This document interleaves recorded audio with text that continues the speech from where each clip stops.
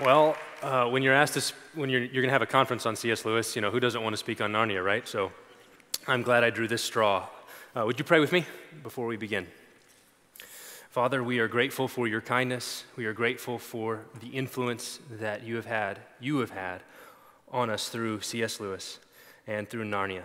And I pray that you would help us all now as we take a trip there and breathe some of that Narnian air um, would you show us just how feeble our imaginations really are by doing things beyond them?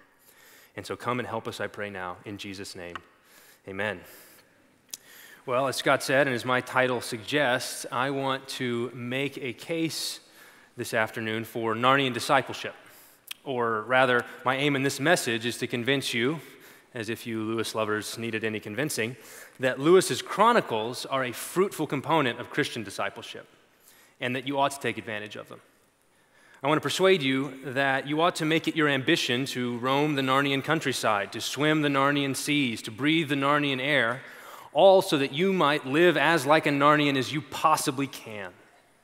And I want to argue that Lewis's goal in these seven little books and I think God's goal in these seven little books is to shape us, to mold us, to instruct us, to form us into the image of Jesus Christ. And for my own part, I firmly believe that I am a better husband, a better father, a better friend, a better teacher, a better son and brother, indeed, a, a better man, a better Christian for my hours and days spent inside Lewis's wardrobe. Like so many, I have met God the true God, the living God, the Father of Jesus Christ, in and through the imaginative bubbling that Lewis called Narnia. And I've grown in my love and affection for Jesus through breathing that Narnian air. So, when I was trying to decide how to make the case for Narnian discipleship, I had two options. And the first was that I could say some stuff about Lewis's view of fairy tales, and then I could say some stuff about uh, Lewis's view of discipleship and try to draw them together and, and say, ta da, there it is, there's my thesis. Um, or I could just show you. And since that sounded more fun to me, that's what we're going to do. So, um, if you're interested in Lewis's view of uh, fairy tales and his view of education and discipleship, then pick up a copy of the book. There's a whole section on that. But I just want to summarize that conclusion. So, Lewis believed that education or, or discipleship is about training us to respond appropriately to the way the world is. There is a, a givenness to reality, and our thoughts and affections ought to conform to it. And so the task of discipleship is to train us in the responses to this objective reality which are appropriate. In other words, to train us to feel pleasure or liking or disgust or hatred at those things which are really pleasant and likable and disgusting and hateful. And he also believed that fiction and fantasy and fairy tales had a particular value in accomplishing this end. Because what happens is by taking us out of this world into an imaginary world, we're able to see this one better. In other words, they, they take us out of our own world into another world so that we can get some perspective, so that we can see our own lives, our own circumstances afresh, more clearly. And so the Narnian stories, I would argue, display through imaginative fiction the way the world really is. Here is honesty and truth telling in all of its simplicity. Here is courage and bravery in all of its shining glory. Here is treachery in its ugliness. Here is the face of evil. Here is the face of good. And if you live in these stories and you soak in these stories and you breathe the air of these stories, you'll find that your heart and your mind, your thoughts, your affections will be shaped and transformed so that you come to fully reflect all that is true and good and beautiful in God's world. In other words, you come to reflect Jesus by spending time in Narnia. That's exactly what Aslan tells Lucy on one occasion. This was the very reason you were brought into Narnia, that by knowing me here for a little, you might know me better there. And so let's dive in. Five ways. So I have got five ways that Narnia shapes us. Number one, Narnia shapes us through Lewis's vivid and concrete descriptions and scenes and characters. And Lewis is a master of this, okay? Um, probably a number of you came into Lewis because he writes this way. He's, he can describe around something instead of just naming it, instead of just defining it. He describes around it so you can see it more clearly and, it, and, it, and you get it. It clicks better than if he just said it. So um, he actually gave advice to writers in which he said, Don't use adjectives which merely tell us how you want to feel about the things you're describing. Instead of telling us that the thing is terrible, describe it so that we'll be terrified. Don't say it was delightful. Make us say delightful when we've read the description. And Lewis is good at following his own advice. Let me give two examples. First, um, evil. What is evil? How can we come to understand what evil is? Well, I'm sure Lewis could give us a very precise, cogent, philosophically accurate definition of evil. Or he could show you a white witch who makes it so that it's always winter and never Christmas, always frosty, never festive, always Minnesota and always February. oh, you've, you know what that's like. You've, you've been here for a pastor's conference, perhaps. Um, more than that, Lewis shows us that this witch, this evil, loves icy death and is at war with joy and gladness. And so you begin to see, oh, I understand evil because of Lewis's descriptions more than if he just said that. So, so what does evil, icy death do? Well, it offers you enchanted food that will eventually kill you. Which, by the way, if you've ever had Turkish delight, you know that the fact that Edmund asked for it shows you he's already half on her side. That stuff's gross. So, icy death, icy death, always winter, never Christmas, will seek to gorge you on enchanted candy. But then later, when she encounters true festivity, a Christmas party with cheerful toasts and plum pudding, what does she do? She flies into a rage. What is the meaning of all this gluttony, this waste, this self indulgence? You see what Lewis just did there?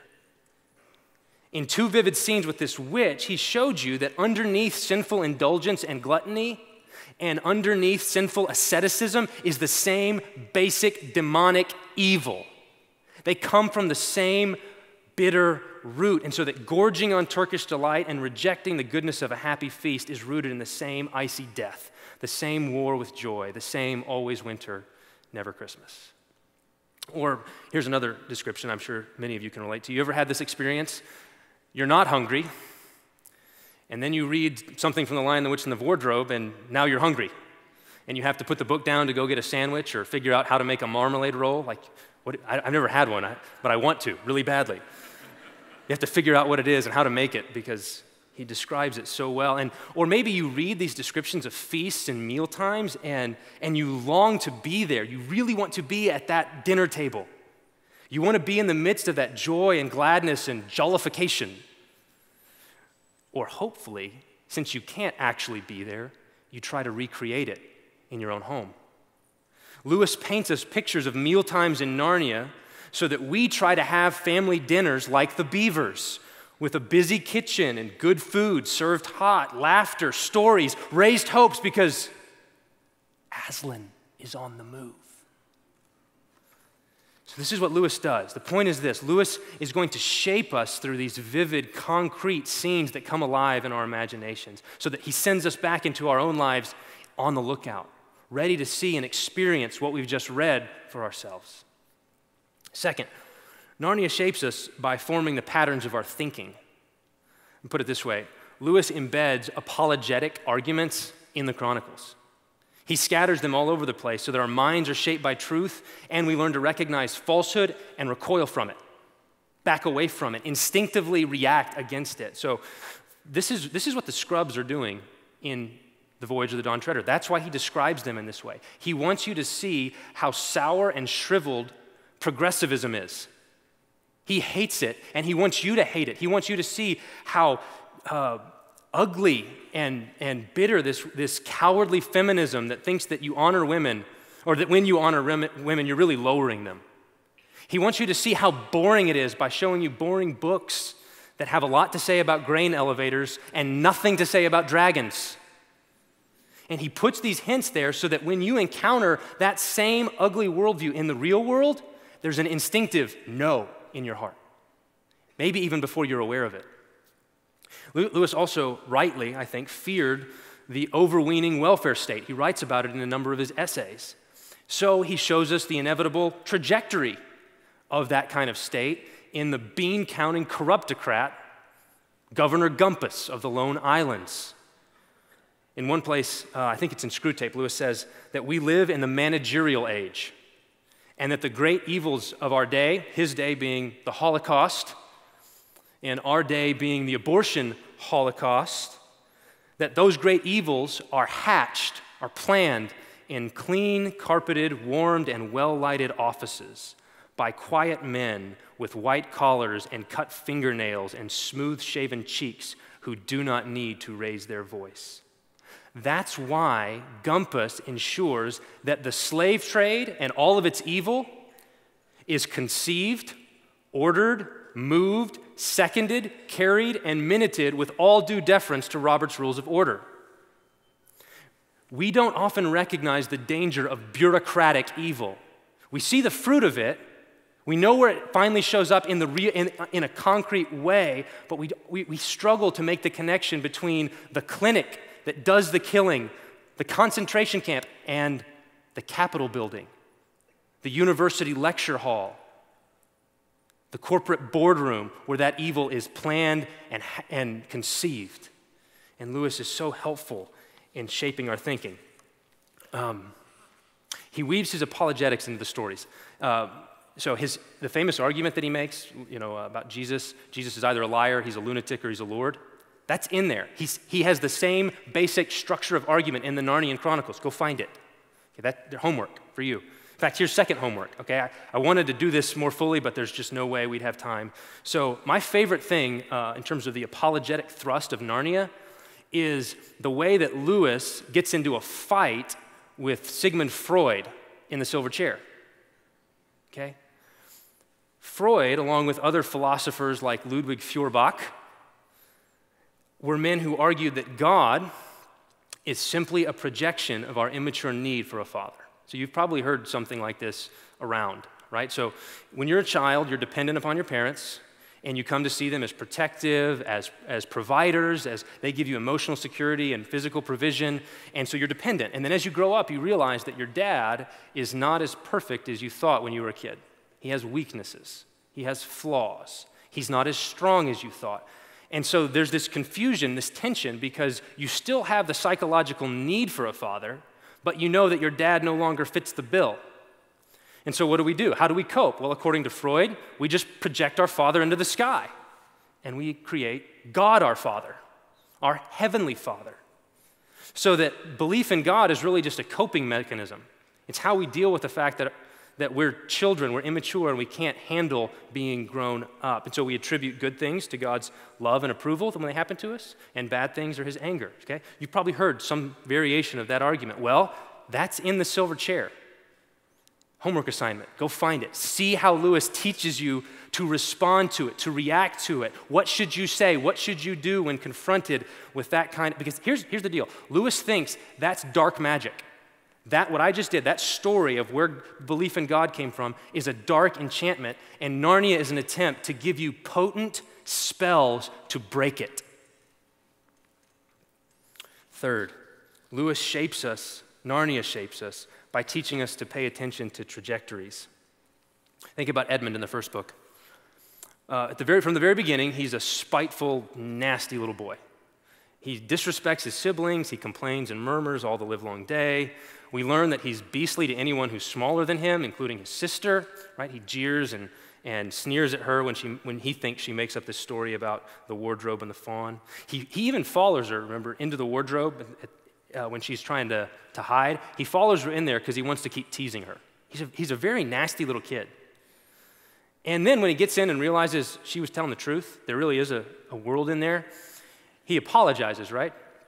You know, Lucy, come out. I'll, I'll say I'm sorry if you like. If you like?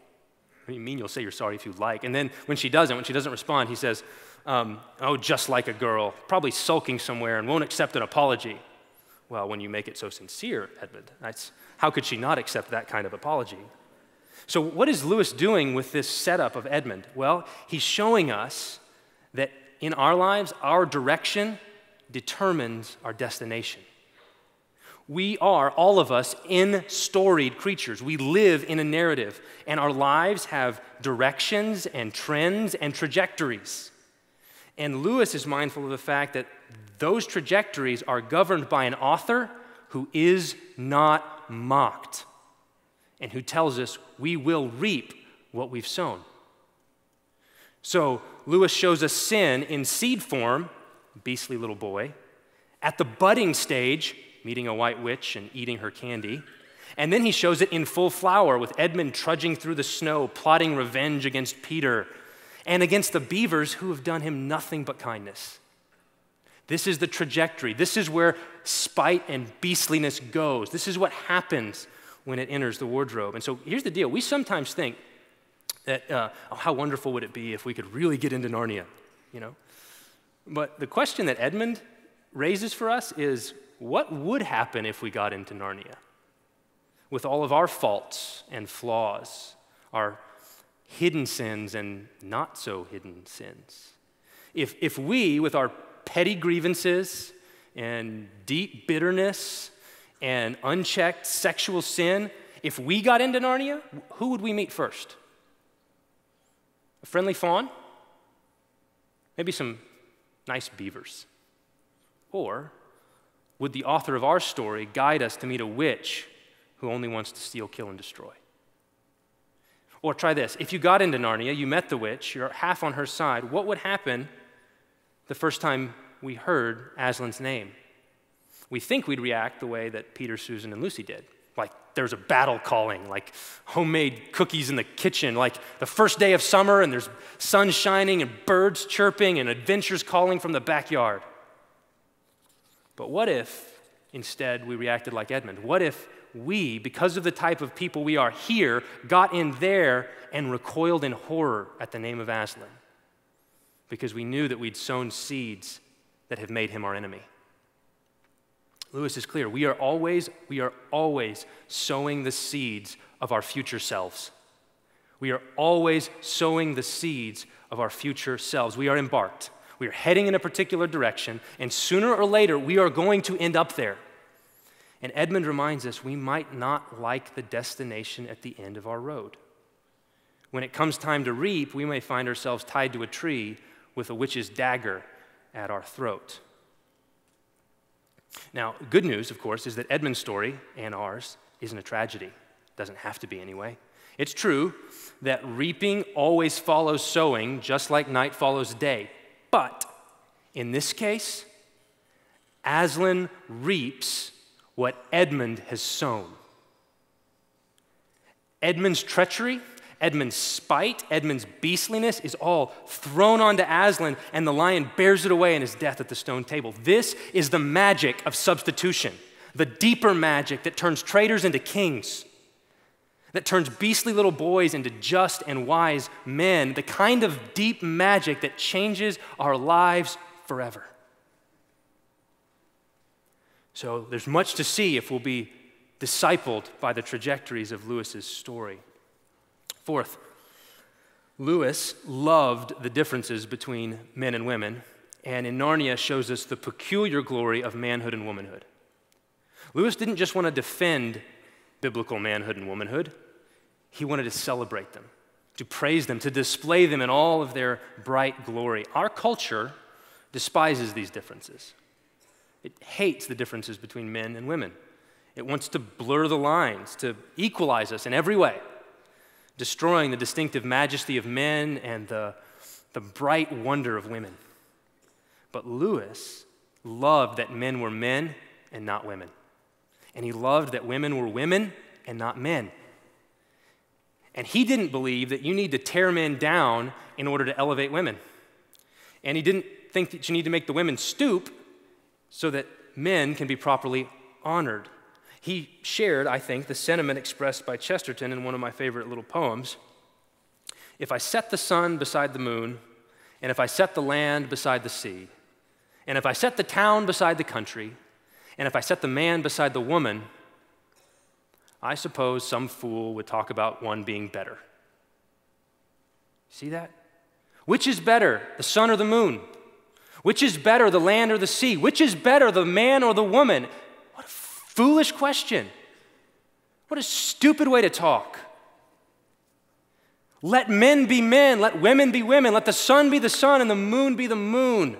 Lewis loved these differences that God embeds in the world, these glorious distinctions, including the distinctions that God has established in role and function, in authority and responsibility.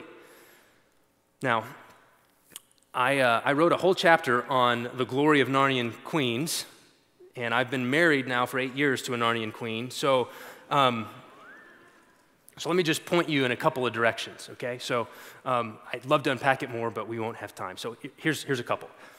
Pay attention to Lucy. I think Lucy's Lewis's favorite.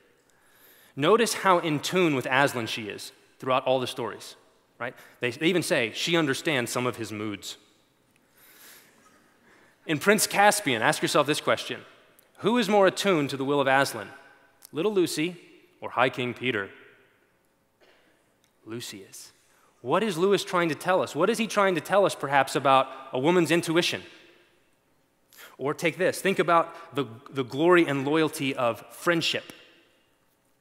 And then think of Jill's friendship with Eustace. Track that throughout the stories. Track the kind of friend that Jill is to Eustace through the stories. Or, I think this one's even better Polly's friendship with Diggory. Polly is a really, really good friend.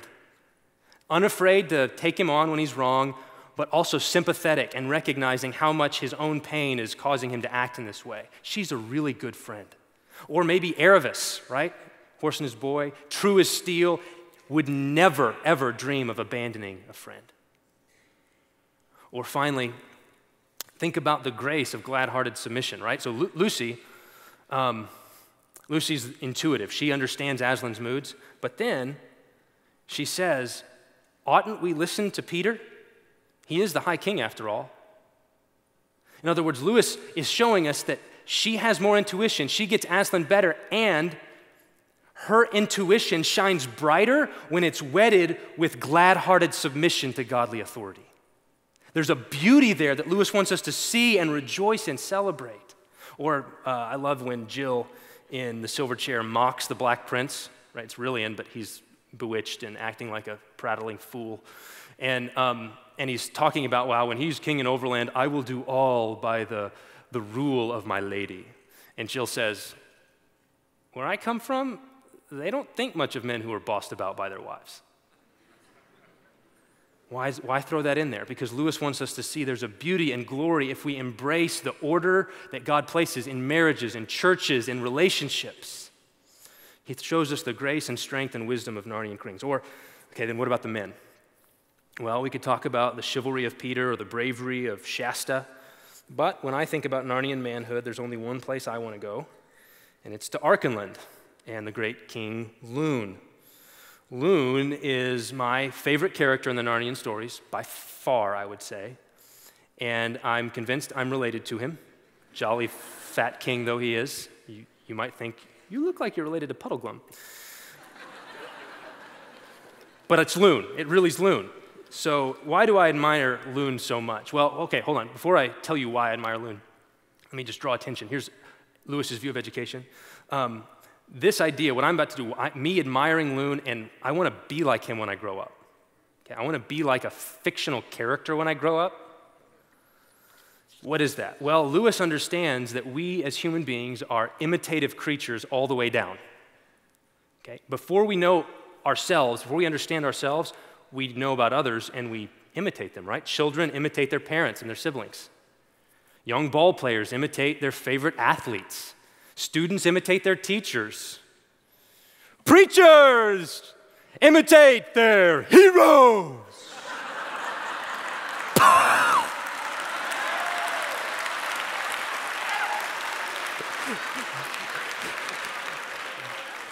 he's, not, he's not here, don't tell him.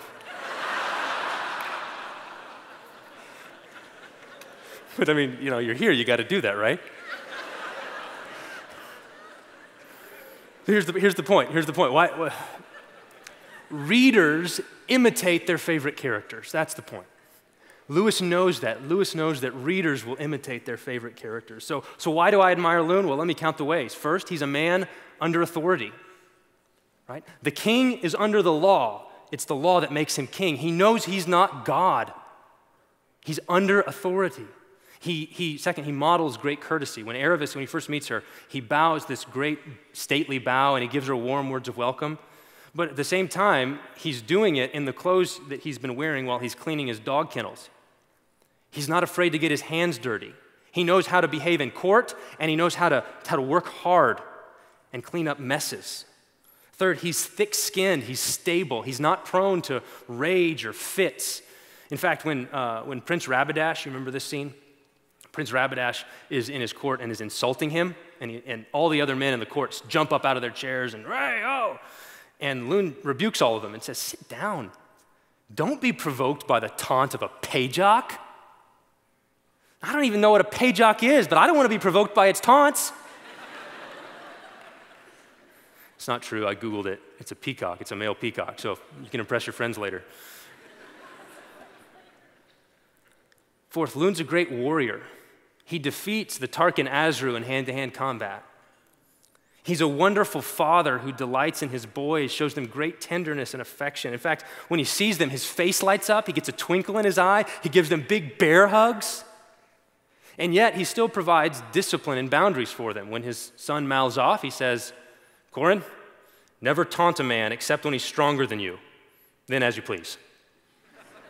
right? So, in other words, there's a place, there's a place for taunting. You know, if you're, if you're Elijah and there's 400 prophets of Baal surrounding you, let them have it. Let them cut loose, go, go crazy with the taunts. Sixth, um, Lune has suffered much. Okay? We have to read between the lines a bit, but he suffered much. When the, his kids were young, he lost his wife. She died. Uh, he thinks for, he, for years he lost one of his sons in a shipwreck. Right? So he's, given the kind of man he is, there's no doubt in my mind that the, that was deep pain for him. But no matter how deep and heartbreaking it may have been, it didn't cripple him. It didn't rob him of joy and vitality. He's still jovial. He's still kind. He's still wise. He's still active and alert. He's still bright eyed, thick skinned, despite his sufferings. And finally, Lune utters what is for me, at this point in my life, the most fruitful line in all of Narnia. He says this This is what it means to be a king, to be first in every desperate attack, and last in every desperate retreat and when there's hunger in the land, as must be now and again in bad years, to wear finer clothes and laugh louder at a scantier meal than any man in your land. What does it mean to be a king?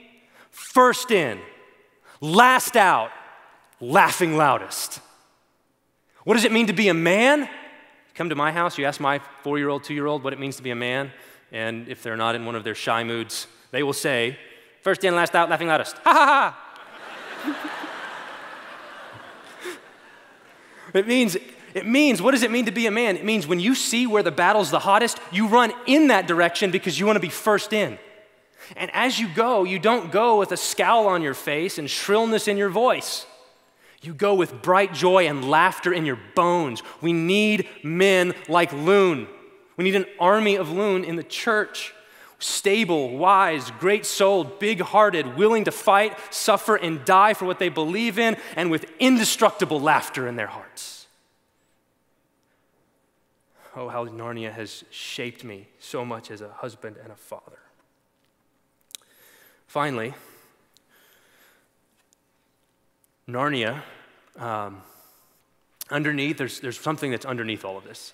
Underneath our meal times and our desire to have fun around the table. And underneath all of our apologetic efforts against welfare states and progressivism and Freud and Feuerbach, and underneath all of our attempts to read our own stories and to see how we're sowing will one day reap something we may or may not like, and underneath all of our efforts to be queens of Narnia and kings of Archenland, there's the gospel. The face to face encounter with the great lion himself. And so let me close and illustrate this with two stories Shasta and Diggory. Shasta, if you'll remember, is an orphan who is raised by an abusive stepfather who treats him like a slave. He has no friends, no companionship, no hope for the future. When he finally escapes to the north, his journey is filled with danger roaring lions, ever present threat that he's going to get caught and executed as a horse thief. Uh, he gets separated from his friends in Tashbaan. He, he spends a fearful night at, in a graveyard surrounded by howling jackals. And every time something looks like it's going his way, it immediately evaporates, right? So he falls in with the Narnians in Tashbaan, but then, and he's happy, these are nice people, and then he's forced to leave when Corin shows back up. He, he runs and runs and runs and arrives at the hermit's house and finally thinks, I'm going to have a rest, only to be told, Get up, run, run, run. You're not done yet. And then he meets King Lune finally, and he thinks, Oh, now I'm safe. Now I can rest. But then he gets left behind because he doesn't know how to ride a horse. For his entire life, Shasta has been at the mercy of forces beyond his control. He's tossed about by events, by circumstances. He's cut off from love, from affection, from security. And then to top it off, he's journeying through a mountain pass. He's starving. He's thirsty. He has tear filled eyes. And all of a sudden, there's something walking next to him, breathing heavily. And it fills him with terror. And scared little boy, hungry little boy, orphan little boy, in a mountain says, Who, who are you? Okay. Pause Shasta. Diggory. When we first meet Diggory, he's been crying. Why is he crying? Well, because his father's away in India. He's living with his crazy uncle. And most importantly, his mother is on her deathbed. In fact, the entire story of Magician's Nephew is really framed by uh, Diggory's concern for his mom. In fact, the thought of mother well again almost consumes him. It's the sort of thing that every time he thinks about it, he fights back the hope because he's been disappointed so often. And uh, when he hears that Narnia might be the land of youth, he gets so excited and he runs down, runs down to Aslan, runs to the lion, hoping that Aslan will give him something to go back and cure his sick mom, that he doesn't want to die. And he gets down there and, and he hears it's his fault. He's the one to blame for the evil coming into Narnia. And it's just poof, evaporates. Right? His heart sinks. He knows there's no way Aslan's going to help my mom now. There's no hope. So you have a, a little boy faced with the reality, the impending reality of his mom's death. Time out on Diggory. Before I show you how those two stories play out, let me add a third story the story of a little boy named Jack Lewis. He's nine years old. He's lying in bed with a toothache and a headache, and he's wondering why his mom doesn't come in when he calls her. And after a while, his dad walks into the room and says, Your mom's dying. She has cancer.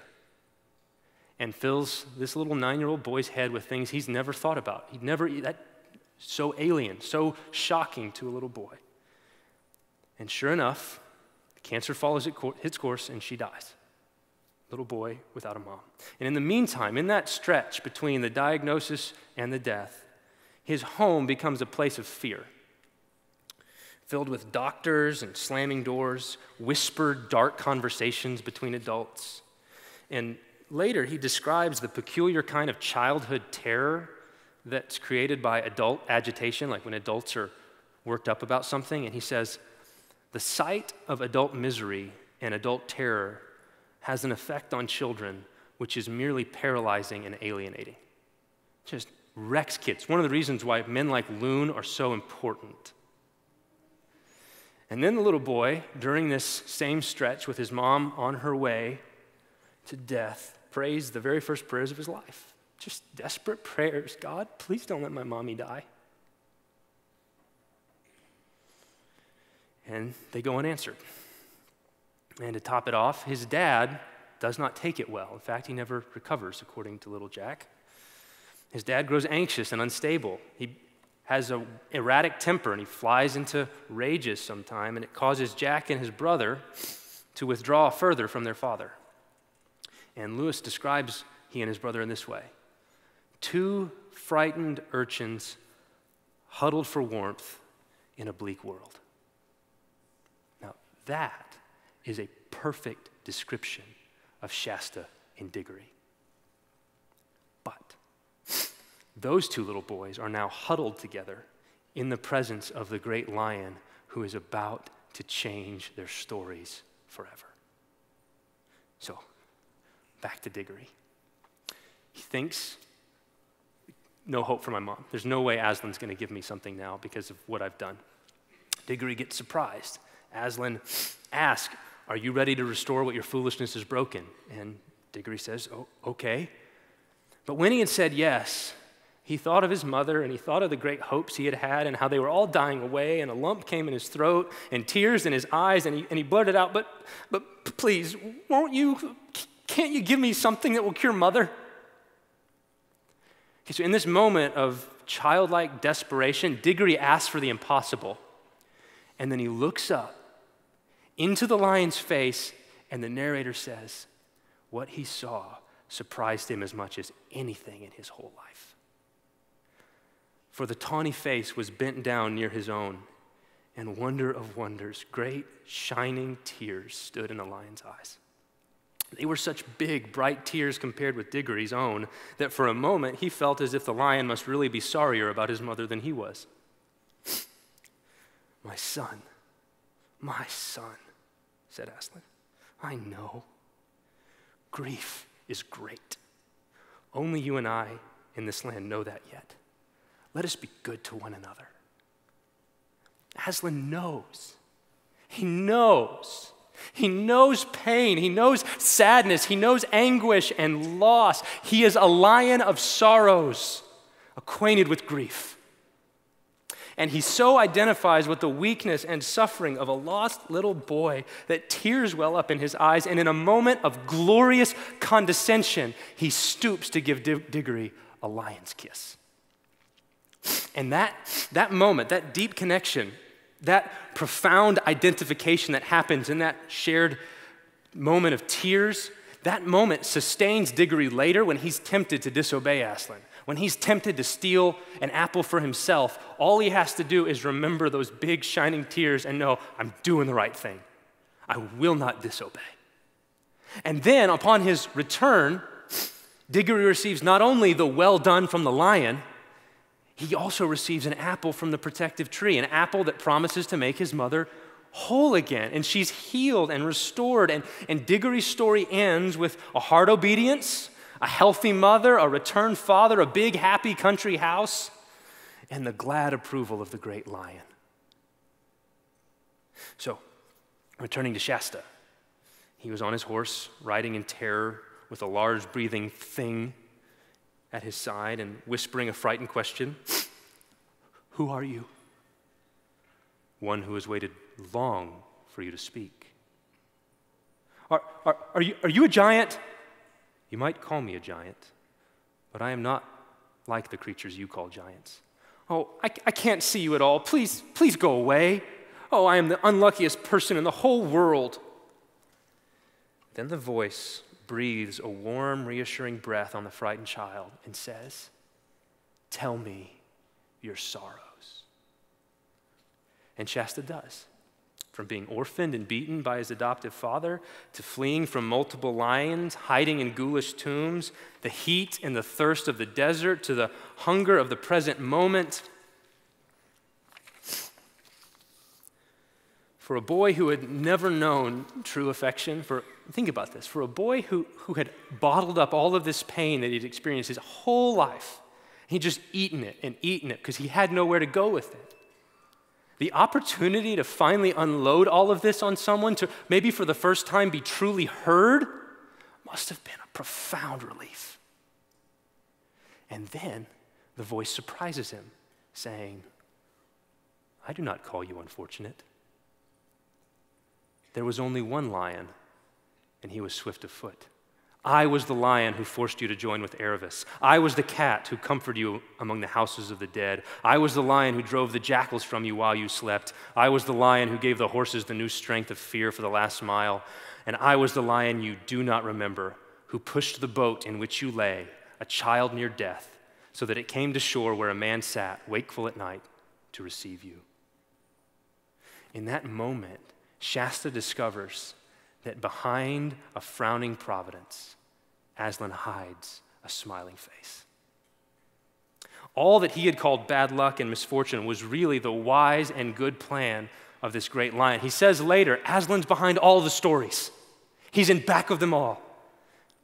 Seeing the face of the terrible lion, he, he slips out of the saddle and he falls at the lion's feet. And he couldn't say anything, but then he didn't want to say anything, and he knew he needn't say anything. And of course, sooner, soon enough, he's reunited with his father. He's welcomed back into the family. He becomes a prince of Archenland and later a king. And so here's the, here's the thing that you have to ask yourself about this, okay? I, you've, you've detected it, I'm sure, the similarities between Lewis's own story and Diggory and Shasta. And there's the key difference in that the mom recovers instead of dying, and instead of uh, uh, a distant father, we get the reunion with a loving father. And so, given that, someone, like maybe a Freudian, might say, Lewis, you're just engaged in a kind of wish fulfillment. Okay? This is just escapist therapy. Right? You're just working through your childhood pain by rewriting your own story with a happy ending. Now, if someone were to say that to Lewis, I don't know exactly what he'd say, but I can imagine what he'd say. And so let me close with my attempt to express what I think Lewis would say to someone like that. Perhaps I am working through my own pain and loss through these stories, but what of it? We live in a world in which mothers die. Might we not imagine a world in which they are well again? Fathers can be harsh and intemperate. Can we not for a moment picture them as jovial and affectionate? Or have we grown too cynical to hope? And might the real answer to such childhood pain lie elsewhere? Isn't the true import of Shasta and Diggory found in their willingness to forego second things, however precious, in favor of things of first importance? I mean, don't their stories really demonstrate how crucial it is to put first things first, even if in the end they also have second things thrown in. I mean, after all, Jesus said, No one who has left houses or brothers or sisters or fathers or mothers for his sake will not receive back a hundredfold in this life and in the age to come eternal life. Indeed, might the real comfort, the deep comfort come not from the restoration of a mother's health or the recovery of a happy father, but from the bright, shining tears and smiling face of the high king above all kings. Would you pray with me? Lord Jesus, we thank you for the grace that we have received through C.S. Lewis and Narnia. We receive that grace as a gift from your hand and pray that you continue to make it fruitful in our lives, in our families, in our churches. May you breathe on us so that, like Edmund, a kind of greatness, your greatness, hangs about us. May we become faithful sons of Archenland, first in, last out, laughing loudest. May we become true queens of Narnia, pillars in the household of God, renowned for their grace and their strength. May we eagerly embrace whatever adventures Aslan sends us, knowing that we are always between the paws of the great lion. In the name of that great lion, Jesus Christ, we pray. Amen.